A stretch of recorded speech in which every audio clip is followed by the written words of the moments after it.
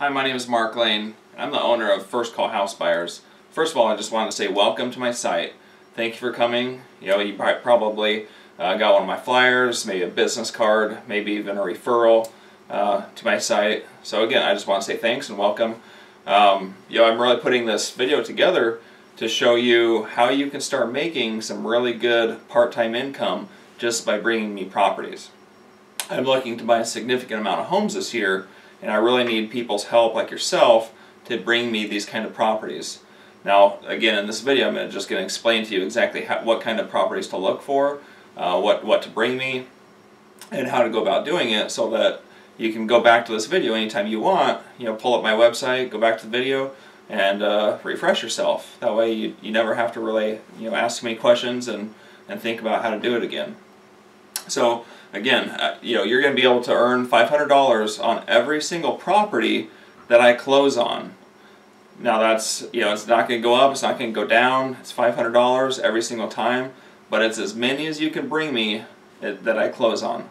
So, as long as the seller agrees and I agree to buy and we close that transaction, you get paid $500 and I'll have record of all of your information so that, you know, I can get a hold of you and pay you that $500 check each and every single time.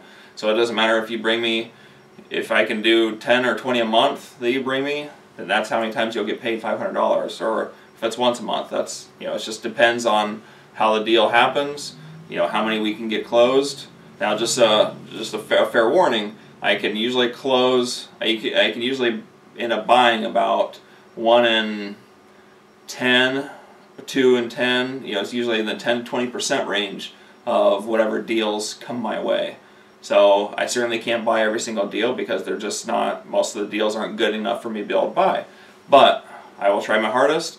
You know, it's just all about how that deal gets structured, what the seller's uh, willing to sell for. You know, it just kind of depends on how that deal evolves. So anyway, let's uh, let's jump right into this. So I can explain kind of you know how to go about finding these kind of vacant properties. Okay. So again, a, a, bird dog is what your terminology is. That's somebody that's actually out scouting properties. And same thing for a hunter, you know, they've got their, their bird dogs, they're out trying to scout the birds. Well, in this case, it's a bird dog's out trying to scout the real estate. So you're out trying to find me properties that I can buy. Uh, the, one of the biggest signs for a vacant or abandoned house is overgrown grass. Now sometimes that grass can be you know an extra few inches up to you know a foot or two tall. Um, but you'll certainly start to notice this as you're driving around, especially in the spring and in the summer. You'll notice that you know those lawns that start to look overgrown and don't seem to match the neighborhood. Those are ones you want to look out for. Uh, code violations. You know, in the summertime, you have code violations of you know the grass not being mowed or uh, you know, the house not being taken care of. In the in the wintertime sometimes it's the uh, the driveway that's not you know that's not plowed or the sidewalk sidewalk that's not shoveled um, those are code violations. And sometimes you'll see the you know the, the yellow door hanger or the sometimes the blue slip or pink slip on side of person's a person's door or window. Those are code violations. And so as a longer a house sits there the more code violations will get built up. And sometimes you'll see one, two, or three stickers on the door, on the window. So again, those code violations are something to look out for. Uh, newspapers and phone books. As a house that's vacant and is abandoned, sometimes it'll have, it'll, you know, that person will not will not have canceled their newspaper subscription, and so oftentimes there'll be you know newspapers piled up you know, on the front step or on the, you know, the front deck. Uh, also a phone book, a phone book or two or three, you know, or shoppers that are there. You know, as that stuff starts to pile up, it just shows a sign that somebody's not bringing that stuff inside. So again, look for those newspapers, look for the phone book laying on the side.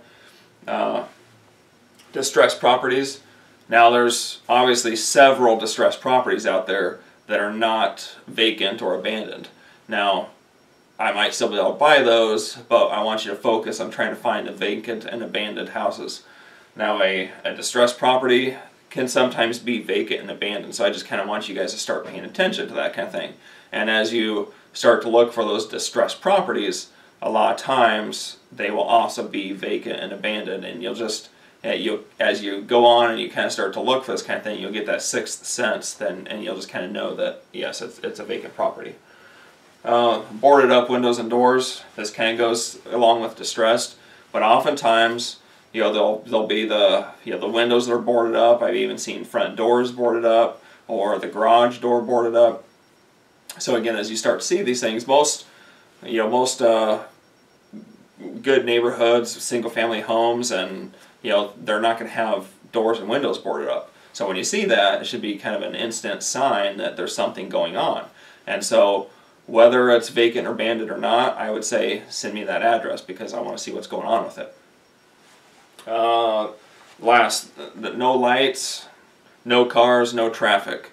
If you see a property that you're driving by on a regular basis and you, there's never any lights on, there's never any cars in the driveway, there's never any people walking in or out, playing in the yard, or anything like that, you know, you'll just start to notice this kind of stuff. And again, that might be a good sign that it's a vacant property. So, again, just you know, you just kind of want to keep an eye on all this stuff on a regular basis. And take different routes to work. Um, you know, as you take take your kids to school, take a different route to school. You know, whatever whatever it takes. Um, you know, every day you should be able to find one or two vacant properties if you take a different route. Uh, so, you know, they, they actually say that uh, throughout a full day of driving around, you can actually come across between 50 to 100 different vacant and abandoned properties. So that's a huge potential to make extra income. Okay? So again, I just want you to be able to, you know, write those addresses down when you drive by. When you get home, you're gonna hop on the computer, get on my site. You're gonna go go to the you know little box below, and you're gonna be able to enter all that information and send that to me. That's gonna go straight to my email. Now that's gonna capture all of your information too so that there's never any overlapping. It's going to tell me that this property came from you and not from somebody else. So you're going to be the one to get the credit even if somebody else tries to bring it to me because that's already going to be logged in. Okay. One other way I want to show you, another way I want to show you to, to bring me properties is called writing letters of intent.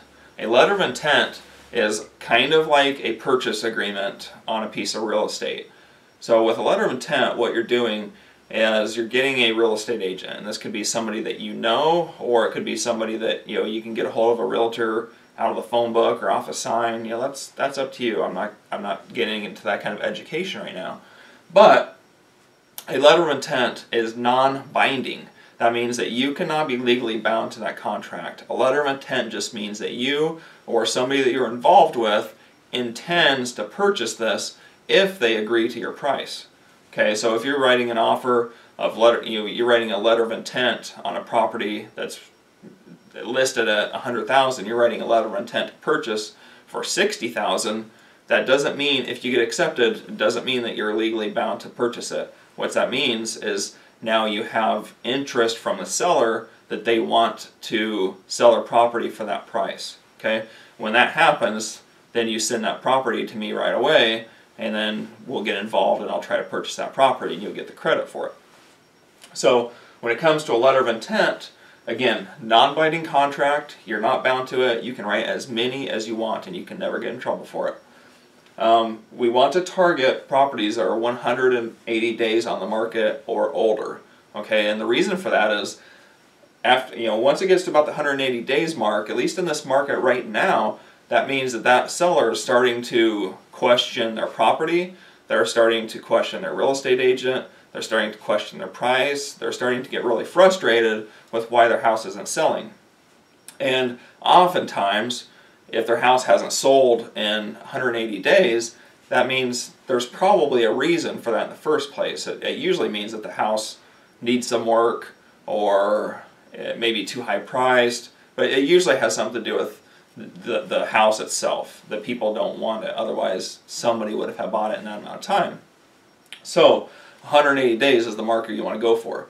Now, when you talk to your realtor and you, you, know, you say, hey, I need you to send me an offer on, or excuse me, I need you to send me a list of all the properties in such and such price range for 100 days, 180 days on the market or older. Okay, and when she sends you that list, that's what it will show. Now, the ones that you really want to target on there are the ones that say vacant. you know, under the owner occupied, it'll uh, say owner or it will say vacant. You really want to write those letters of intent on the vacant properties. Now, if your realtor sends you the list and it doesn't show that, you need to tell them that you need to see the listing where it shows if it's a vacant property or if it's owner occupied, okay? Because that's going to be a huge factor in getting some of these deals. Now, in the, in the Des Moines market, we're going to be targeting mostly 100,000 and under. If you want to target properties over 100,000, that's totally fine. Again, this is non-binding. So if you get some, you write a letter of intent on a property that's 225,000, um, you know, and they have an interest, we'll certainly look at that. Okay, so there's there's no limit. It's just that usually in that in, with something that's been on the market that long is going to be in the lower price range that somebody just doesn't want. Okay, and those are the ones that we can go in and buy for 50 cents on the dollar. Okay, so just to make this really easy on the math, anything that's basically 50,000 to 100,000, you're going to write a letter of intent with the purchase price of 60% of that listed price. Okay? And then if it's 10,000 up to 50,000, you're going to write the letter of intent with with an offer of 50% of the listed price. So if it if it's listed at let's say 50,000, you're going to write an offer on it of 25,000. All right? A lot of times it's you know, they might it might be listed for you know 49 9 or something like that. It doesn't matter. Just cut it in half, write the offer letter of intent, okay? So again, as there's going to be a PDF download on my site right underneath this video where you know you can download this letter of intent. You can print off as many as you want, and you know have your realtor send you that list and make those offers. That's all it takes. You know you, you can do. I mean, I say do as many as you possibly can because I want the deals. Um, but you can do, you know, five a week.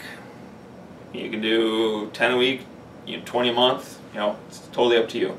More uh, the more offers you make, the more deals you submit to me, the more deals we'll get. Real estate is 100% a numbers and volume game. So the more deals you send to me, the more deals we'll, we'll get. So that's about it. Again, you've got letter of intent, and we're scouting for vacant and abandoned properties. So send me those deals, 500 deals, or excuse me, $500 on every single deal that we get that we get accepted and we close on, you get paid for. Fill out the information, it'll come my way, and I'll be in touch with you soon. Thank you.